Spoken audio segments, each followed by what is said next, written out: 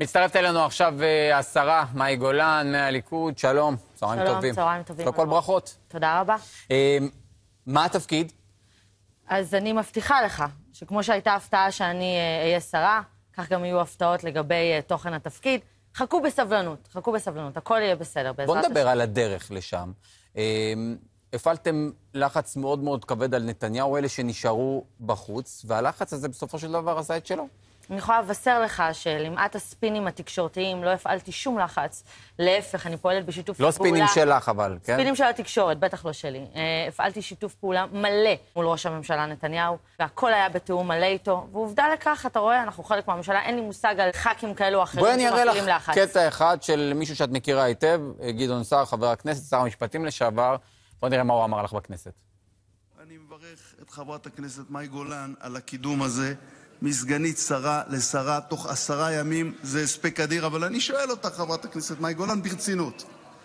תכלס היית מחכה קצת, עוד איזה שבוע, שבועיים, עושה פה סיבוב בחוץ בכנסת באיזה הצבעה, היו מציעים לך משרד ממשלתי. עוד שבוע, שבועיים, ראש ממשלה חלופי. הוא מדבר על הקפיצה שאת עושה. לא מספיק להיות חבר כנסת היום? אתה יודע, קודם כל, אני חייבת לציין שמצחיק אותי באמת לראות את גדעון סער מדבר על סידורי עבודה. מי שהיה אה, מועמד בפני עצמו לראשות הממשלה, ולולא יכולות המשא ומתן שלו והחטיפה של המפלגה של גנץ, הוא לא היה בכנסת היום. אבל אני אגיד לך משהו על גדעון.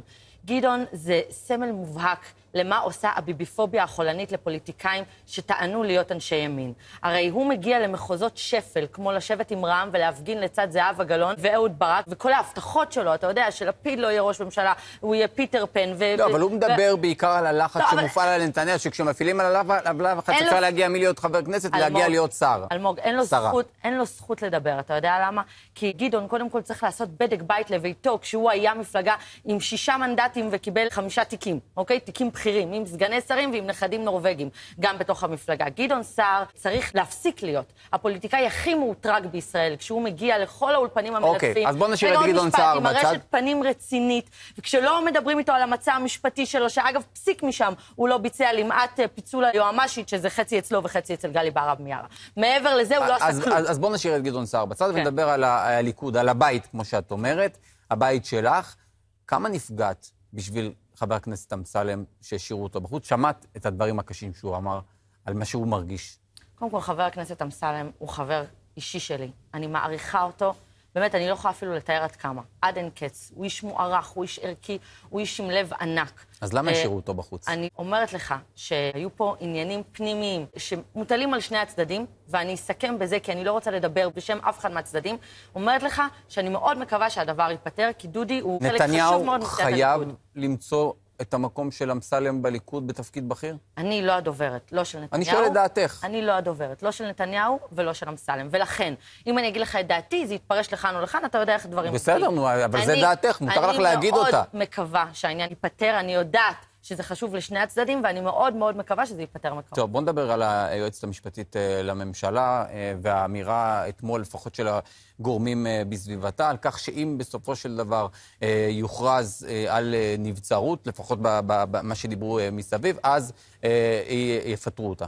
תראה, אני רוצה להגיד לך, זה מדהים לראות איך יושבת היועמ"שית, ובאמצעות כמובן גדעון סער שמנחה אותה מה לעשות, הם מעבירים את המסרים שלהם דרך אולפן שישי. את אומרת את זה מידיעה או שאת עושה אחד ועוד אחד? דרך אולפן שישי, הישר אל אברמוביץ', שיושב ומעביר שם את המסרים. לא, אבל אמרת פה משהו חמור. אמרת, אמרת. שגדעון סער הוא, הוא זה שאומר לה מה להגיד. חד משמעית. מנחה אותה, מתדרך אותה, ואומר לה בדיוק מה לעשות, ודרך השופרות באולפנים, במיוחד באולפן שישי, ואברמוביץ', שנותן שם את המסר. לא, לשם. לא, זכותי להגיד את זה, זה בסדר, אני לוקחת את זה עליי. אבל מעבר לזה, אני רוצה להגיד לך, תראה, הבינו פה אנשים שלא יוכלו לתפור תיק, למשל, ליריב לוין, איש ישר מאוד וכן. ואיך הם יסכלו אותו, את ממשלת הימין ואת הרפורמה הזאת? על ידי המצאות, ניסיון בזוי ועלוב לנסות ולהפיל ראש ממשלה מכהן ואת כל מי שבחר בו, לא יצליח אוקיי. להם, לא ניתן לזה לסיום, לקרות. הנשיא מדבר היום על פשרה, על כך שיש התקדמות. את רואה את זה קורה?